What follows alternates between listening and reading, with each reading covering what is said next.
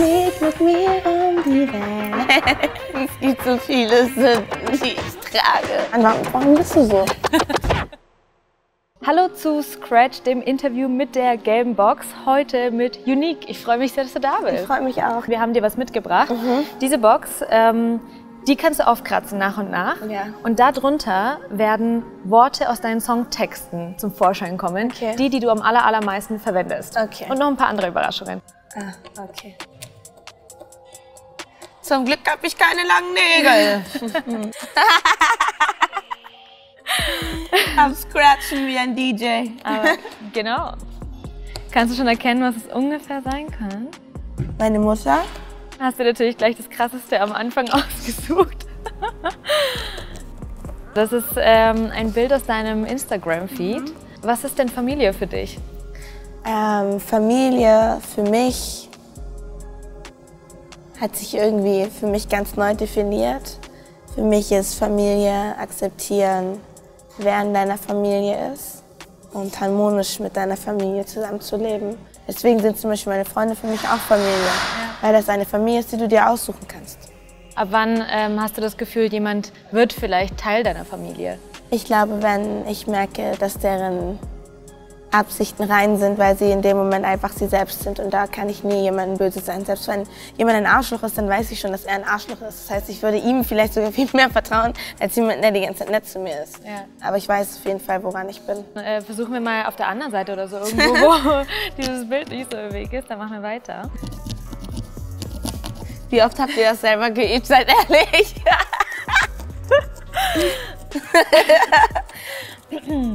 das sagen wir jetzt mal nicht. Oh mein Gott, man braucht richtig Muskeln. Nice. Zum Glück bist du sehr gut trainiert. Ja, Digga. Kannst du schon erkennen, welches Wort das ist? Genau so? Ja. nice. Ähm, ich habe mir deine Serie Becoming Unique komplett mhm. reingezogen, von Anfang bis Ende. Und was mich richtig krass beeindruckt hat, ist, wie genau ihr euch am Anfang diese Pläne aufgeschrieben habt. Mhm. Hättest du jemals erwartet, dass ihr so genau arbeiten werdet? Nein, hätte ich nicht. Und das Krasse ist, das Leben sorgt ja immer noch dafür, dass die Dinge vielleicht viel krasser oder gar nicht so eintreffen, wie du sie auch aufgeschrieben hast teilweise. Ja. Aber der Weg geht trotzdem weiter und das ist das, was einfach krass ja. ist. So. Das ist einfach, wer schreibt, der bleibt. Dann lass uns einfach zum nächsten Wort. Ich dachte auch auf den, die Begriffe sind voll klein, ihr druckt Bilder auf. Ja, das Ding ist, je größer der Begriff ist, desto öfter verwendest du ihn auf deinem Album. Krass. Das gehört auch dazu. Lass. Genau. Lass ist das Wort. Was Ah. kannst du denn absolut gar nicht lassen? Was ich nicht lassen Ja. Scheiße bauen. Nein, Spaß. Hast du schon auf Tour Scheiße gebaut? Hm? Hast du schon Nein. Scheiße gebaut? Wer ich? Nein. Was? Scheiße, was ist das? Gibt es irgendeine schlechte Angewohnheit oder so? Ähm, lassen würde ich das Rauchen gerne. Ja, ja. Es gibt gerade so viele Dinge, aber ich kann sie nicht sagen. Das ist egal. Okay. Ich lasse es mit dem Rauchen einfach. Kommentare? Genau. Das ist jetzt das erste Wort, was ähm, quasi nicht aus deinem Songtext ist, Mhm. sondern das habe ich mir rausgesucht, weil dir das ein Fan mal geschrieben hat. Das war ein Kommentar oder eine Nachricht von deinem Fan an dich. Und äh, sie hat geschrieben, du rappst heftig und das gibt mir Kraft. Ich wurde oft wegen meiner Figur beleidigt und habe oft geschwänzt, weil ich dachte, wozu das Ganze? Du ignorierst die bösen Kommentare gegen Mädchen und bist so selbstbewusst. Mach bitte weiter. Als du damals die Facebook-Videos von dir gepostet hast, die allerersten, wo du noch gefreestylt hast, Die Leute haben mich tot beleidigt, Digga. Richtige Bastarde gewesen. Als die ersten Hater-Kommentare gelesen habe, die aber nicht für mich logisch Sinn gemacht haben, war ich raus. Ich habe das einfach ignoriert. Außerdem kriege ich viel mehr positive Sachen als negative Sachen. Ja. Also ist noch alles gut. Na, alles klar, dann lass uns weiter kratzen.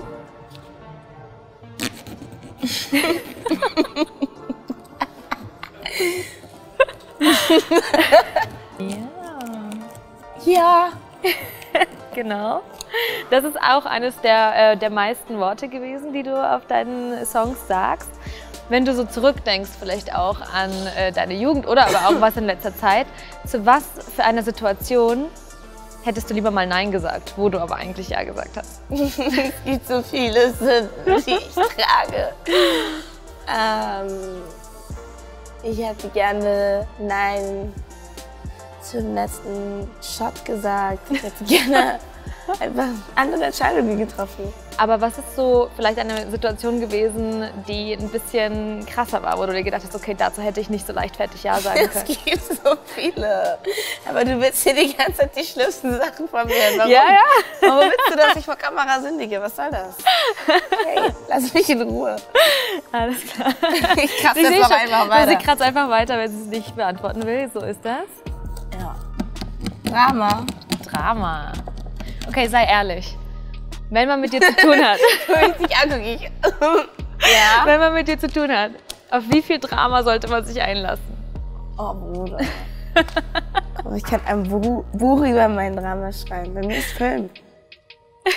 Ist so, es ist einfach Film. Ist, In welchen Ahnung. Situationen machst du denn Drama? Drama, wenn ich nicht bekomme, was ich will. Mit Männern. Da machst du auch Drama. Ja. Und Aber einfach, weil ich das mag, auf. Ich bin ein bisschen Action. Nicht so boring. Was ist los? Ja, ich bin ein bisschen behindert. Was also das, was man auf der Bühne sieht, weil du hast ja auch viel Drama in der Show, Mhm. so ist auch ähm, bei dir privat auf jeden Fall. Ja. Wir können ja gleich auf das äh, Wort, was direkt daneben ist, auch eingehen. Ich weiß Was nicht, das hast du denn? quasi freigekratzt.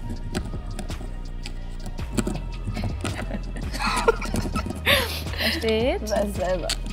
Luft. Was ich besonders krass fand, ist, dass du auf einen Halbmarathon trainiert hast, weil du gesagt hast, du willst genug Luft für die Tour haben. Mhm. Jetzt bist du mitten in der Tour, Halbzeit. Wie viel Luft hast du noch? Ich habe so viel Luft, Digga. Ich glaube, dass ich dieses Adrenalin noch in meinem Körper habe, hilft natürlich auch. Ja. Und die Energie einfach von meinem Publikum. Mein Tourmanager sagt auch die ganze Zeit so auf Unique, versuch doch in den ruhigen Momenten, bleib doch einfach stehen auf einem Punkt, komm doch einfach runter, genieß doch den Moment, genieß doch den Moment. Und ich bin die ganze Zeit am Rumspringen, ich habe zu viel Energie. Deswegen, ich habe alles richtig gemacht. Könntest mit danach nochmal auf Tour gehen. Halbmarathon, ja, direkt, Digga. Ich hatte vorher gar keinen Bock auf Laufen, ihr versteht es nicht, ich bin doch die Schlimmste. Auf Sprinten kann ich ganz gut, kenn ich. aber lange Zeit willst du mich ver... Du warst zwei 21, Stunden. ich wusste ja noch nicht mal, wie viel 21 Kilometer sind. Ich so, okay. Man macht, was man macht, okay. Ja, hilft mir auch für Bühne und so. Ihr solltet auf jeden Fall weniger Farbe benutzen. Ja. Danke für den Tipp, das merken wir uns. Ich mir gleich meinen Arm. Bluff. Ja. Gab es irgendwann mal auch so, so eine Situation, so fake it till you make it mäßig, wo du bluffen musstest, um irgendwas zu bekommen? Normal, das ist genauso wie zum Beispiel ähm, mit Haaren zum Beispiel, wo ich so auf, natürlich ist mein Ziel, irgendwann diese Beyoncé-Haare zu haben, aber die kosten voll viel Geld. Also fange ich erstmal low an, aber switch schon mal und versuche mir irgendwie eine Strategie zu überlegen, wie ich langsam dahin komme. Ist jetzt noch nicht perfekt, es ist genauso wie mit dem Schminken. Ist Ja. noch nicht perfekt, aber es level zu der Shit. Ich komme da hin. Wenn ich Also- fake, dass ich mich gut schminken kann, bis ich mich gut schminken kann, ich werde da ankommen. Fake it till you make it. Like, just get the bag. Und das Ding ist, irgendwann ist es ja deine Realität. Aber das ist eigentlich nur manifestieren. Meine Beispiele, meine Bilder sind komisch, ne? Aber ich kann mich irgendwie anders nicht ausdrücken. Film. Passt das ja ganz gut dazu. Ganz genau. Welcher Film beschreibt dein Leben? Ich glaube, dieser Film wurde noch nicht geschrieben. Dieser Film ist so reckless. Dein Song, der heißt ja auch Mulan. Mhm. Bist du Disney-Film-Fan? Sowieso, auf jeden Fall. Aber ich bin sauer. Warum? Ich bin sauer auf Disney, weil die, die haben uns einfach hochgenommen. Verstehst du? Wir gucken Disney, wir sind richtig so auf. Oh mein Gott. Als kleine Kinder, wir kriegen alles, Digga, von Disney. Wir freuen uns des Todes. Werd mal 14, 15, Digga. Ich kenne keinen Prinz. Du?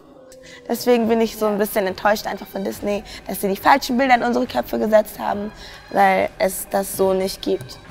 Könntest du dir trotzdem irgendwann mal vorstellen, vielleicht so eine Titelmelodie für einen Disney-Film zu? Normal, das sowieso. Flieg mit mir um die Welt. Sie gehört der Prinzessin. Du weißt selber, Aladdin besser. Aladdin ist dein Film. Lieblings-Disney-Film? Nein, ich, hab, Mulan. ich liebe Mulan. Ich liebe.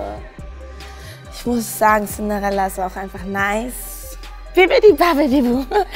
ähm, bin noch so in einem Zwiespalt zwischen sauer und eigentlich. Okay. Kannst du das schon so lesen? Nice. Ja. Nice. Du hast ja auch das Lied Wer ist so nice wie ich? Ich finde, das ist ein krasser Kontrast, wenn du sagst, dass du früher eher low-key unterwegs warst Ja. und so kaum zu deinem Talent stehen konntest. Was wäre so eine gute Selbstliebeübung? Ich glaube, der Punkt kam dann, wo ich halt viel mich damit auseinandergesetzt habe, warum das bei mir so ist und, und so weiter und so fort. Und dann habe ich mir einfach selber so Challenges gesetzt an mich selbst. Was für Und die habe ich Challenges? dann auf Party einfach ausprobiert. Was für Challenges Ja. das waren, warum, warum bist du so? Eigentlich ist ja nur, Selbstbewusstsein ja nur mutig sein, das zu tun, was du gerade fühlst. Was soll denn passieren? Es kann nichts passieren auf den, aber du wirst es auf jeden Fall nie herausfinden, wenn du es nicht machst. Okay, also Das ein bisschen safe. Scheiß auf die Angst und ähm, Ja, einfach Kickdown. cool. Ja. Ich erspare dir jetzt mal das weitere Kratzen. Ich. Ich danke dir, dass du das mitgemacht hast, auch wenn das ein bisschen nein, äh, schwierig gut. war. Äh, lasst ein bisschen Liebe für Unique in den Kommentaren da und abonniert den Kanal, denn natürlich wollen wir mit dieser Box auch noch andere Künstler besuchen. Und ähm, bevor du gehst, Mhm. muss ich dich bitten, diese Box das allererste Mal, Zu signieren. genau, oder was anderes draufzuschreiben oder draufzumalen. Okay, ich mach dich gerne die Seite. Genau. Ich sehe so ein bisschen, dass es eine Schlange ist. Eine Kobra wahrscheinlich. Ja, das ist mein, mein Unique-Zeichen. Sehr gut. Genauso soll es sein. So, danke und ähm, bis zum nächsten Mal. Bis zum nächsten Mal. Kuss, kuss, kuss.